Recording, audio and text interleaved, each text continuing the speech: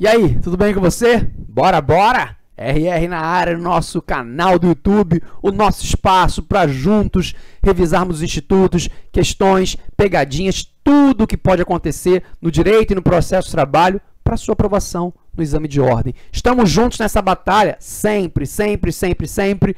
E hoje é dia, eu reservei para você um momento crucial momento especial, momento nosso de resolver questões de prova. E uma questãozinha hoje de direito processual do trabalho. Vamos lá, vem comigo. Francisco trabalhou em favor de uma empresa em Goiânia. Goiânia, onde ele trabalhou. Após ser dispensado, mudou-se para São Paulo e, neste estado, ajuizou reclamação trabalhista. Então, reclamação trabalhista ajuizada em São Paulo, onde ele se mudou contra o ex-empregador. Este, o ex-empregador, após citado em Goiânia, apresentou a petição de exceção de incompetência territorial logo no segundo dia. Perfeito, seguiu a regra do artigo 800 da nossa CLT, que depois você dá uma olhadinha com calma. Vamos lá. Em razão disso, o juiz suspendeu o processo e conferiu vista ao excepto, a outra parte. Em seguida, proferiu decisão acolhendo, o juízo acolheu a exceção, determinando a remessa dos autos ao juiz distribuidor de Goiânia, local onde os serviços de Francisco foram prestados e que, no entendimento do magistrado, seria o juízo competente para julgar a reclamação trabalhista diante da situação retratada e do entendimento consolidado do TST, assinale a afirmativa correta. Pronto. Já a primeira grande observação aqui, eu vou até dar respirada. A questão envolve uma jurisprudência do TST. E aí o examinador está perguntando para você assim, ó, conhece as súmulas do TST? Ou conhece as OJs do TST? Se a resposta for não, você tem um problema já que na primeira fase você não segue para a segunda fase. E eu digo para vocês, vou repetir aqui, não é, não é papo de profissional, é verdade. Você tem que lembrar de uma coisa. Aqui em Direito e Processo de Trabalho, você tem 11 pontos na primeira fase, 6 pontos em trabalho e 5 pontos em processo de trabalho. Doutores, 11 pontos aqui, mais 8 pontos em ética, por exemplo, você tem quase 20 pontos, quase metade, tem 19, quase metade da pontuação que você precisa para ser aprovado para a segunda fase. Para mim, quem tira 40, 42, 50, 60, 70 é a mesma coisa. O que eu quero saber é, você está na segunda fase? Isso é importante. Então, seja estratégico. Então, tem que conhecer pelo menos as principais súmulas e OJs do TST. Eu tenho um módulo, eu tenho uma isolada só de súmulas e OJs do TST no meu canal, lá no Aprenda. Vai lá, rogerorenzete.com.br, perdão, aprenda.com.br barra Rogério Renzetti. Vou repetir, aprenda.com.br barra Rogério Renzetti. Lá no meu Instagram você consegue no arroba prof. Renzetti esse caminho direto para lá. Então, é a primeira dica. Súmulas e OJ despencam em prova. Então, estudar isso é essencial. Nesse curso eu falo das de trabalho e de processo. Faço uma divisão bem bacana. E eu tenho outro presente para você gratuito, que é o nosso e-book, com as principais súmulas e OJ do TST. Se você não tem esse e-book ainda, está de fora. Esse e-book tem um sumário organizado, vai ajudar vocês bastante. E como é que você faz? Vai no meu Instagram, me segue lá, arroba profrenzete, Z-E-T-T-I, arroba profrenzete, me chama via direct e fala, Renzete, assisti seu vídeo no YouTube e eu quero o meu e-book, quero meu presentão. E aí? Eu te mando na hora. Fechou? Tranquilo? Papo nosso? Não deixa passar isso, tá? Isso é importante, tem presente para você. Bom, vamos voltar para a questão. Primeira coisa, qual é a regra quando eu falo em competência territorial. A regra é o local da prestação de serviços. Lembra disso? Hum, não lembro. Tem que estudar então esse ponto, hein? Artigo 651 da SLT. Não importa onde foi a contratação. O que importa é o local da prestação de serviços. Me contrataram em Curitiba, trabalhei no Rio de Janeiro e no Rio fui dispensado. Qual é a competência territorial para juizar uma reclamação trabalhista? Uma das varas do trabalho do Rio de Janeiro, que foi o local da prestação de serviços.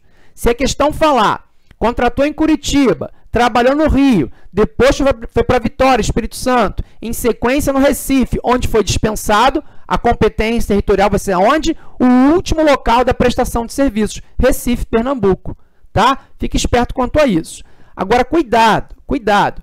Quando essa regra não é observada, quando o reclamante ajuiza a reclamatória trabalhista em uma competência territorial distinta, o que, que acontece? Acontece que o reclamado precisa se manifestar. Ele vai se defender através da exceção de incompetência territorial. Exceção de incompetência territorial para falar o quê? O juízo de tal lugar, você não é o territorialmente competente para apreciar essa ação, a competência de outro. Aqui nesse caso, o Francisco, é Francisco, né? Foi contratado para trabalhar onde? Em Goiânia. Foi dispensado aonde? Em Goiânia. Aí ele se mudou para São Paulo e aproveitou que está em São Paulo mesmo, ajuizou reclamação trabalhista em São Paulo. Vai que, né? Se colar, colou. Acontece que a empresa falou: não, eu não tenho nada em São Paulo. São Paulo não tem competência territorial e apresentou a exceção de incompetência territorial. Parou, parou, parou, respirou. O que, fez o juiz? Acolheu a exceção de competência. A decisão do juiz que acolhe uma exceção de incompetência, atentem-se aqui, é uma decisão interlocutória. Você já sabe, mas não custa repetir, frisar muito. Repetição é especialidade da casa aqui. A decisão interlocutória, ela é irrecorrível de imediato. Repete, repito. A decisão interlocutória, ela é irrecorrível de imediato. Ela não é irrecorrível e ponto final. Ela é irrecorrível de imediato. Quer recorrer? Recorra, mas só ao final. Então, notem, se o juiz acolhe a exceção de incompetência territorial aqui, que é uma decisão interlocutória, tem um detalhe.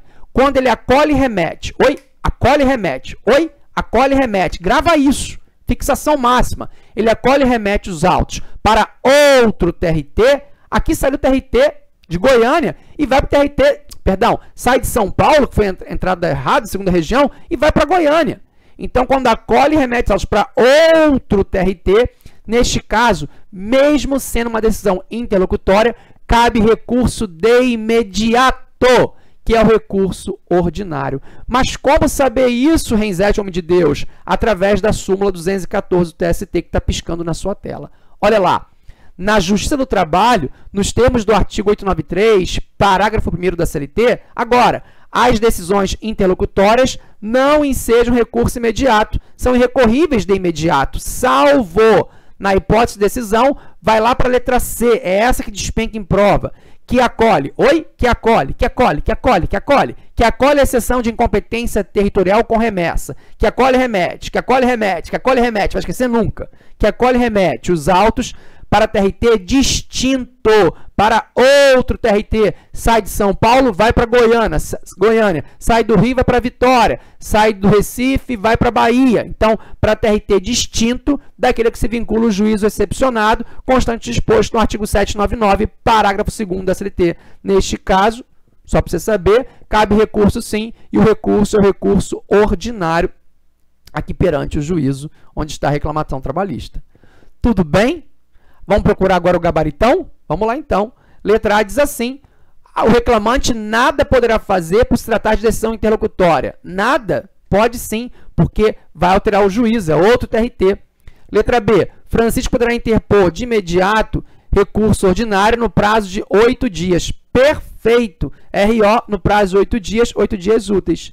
Ah, mas não está errado. Gente, não viaja muito. A questão está perguntando, a atitude de Francisco está correta? Cuidado com isso. Estou vendo muito aluno bom que está querendo interpretar os enunciados e acaba caindo em casca de banana. A banca não está perguntando, o examinador não perguntou. Está certo ou está errado? Não, quer saber qual é a medida processual cabível, de acordo com o entendimento do TST. É a súmula 214. Agora, se vai ter sucesso ou não vai ter sucesso, aí são outros quinquim, são outros 500. Isso não perguntou na questão. Não viaja, não extrapola a limitação para você seguir para o exame de ordem comigo, hein?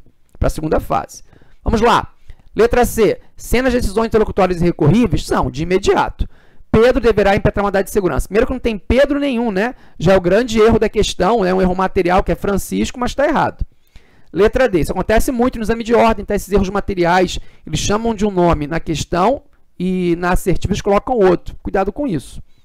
D. O recurso cabível para tentar resolver a edição é o gravo de petição. Claro que não. Primeiro gravo de petição é recurso da execução, não tem nada a ver com isso. Gabarito, letra B, de bola, súmula 214 do TST. Fico muito feliz que você tenha acertado essa questão e lembrou das aulas teóricas, que é colhe remete, colhe remete. Tudo isso, análise dessa súmula está aqui no nosso laranjinha, que coloquei para vocês aí, o nosso livro o 2 em 1, um, Direito e Processo de Trabalho, Teoria com Questões, o livro que você precisa para a primeira e para a segunda fase do exame de ordem.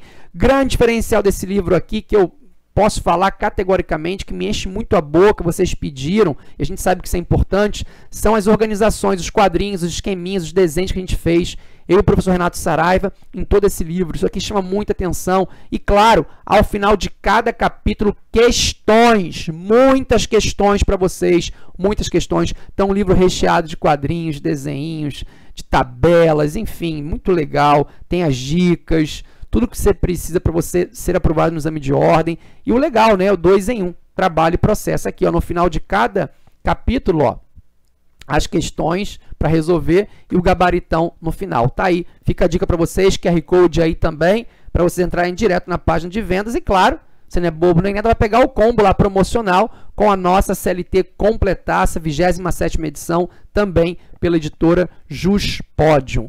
No mais, gostou? Então curte, curte aqui esse vídeo, compartilha com seus amigos, se inscreve no canal que tem muita coisa boa e eu te espero para o nosso próximo bate-papo nesse nosso espaço democrático. Comenta aqui embaixo qual o tema que você quer que eu fale, qual o tipo de questão. Fala para mim, Enzete, fala sobre audiência, fala sobre recurso. É nosso espaço, mas eu tenho que ter o feedback de vocês. Fechou? Juntos? Então, bons estudos, sempre avante, nunca, jamais, jamais, jamais se esqueça. Grito daí, que eu grito daqui.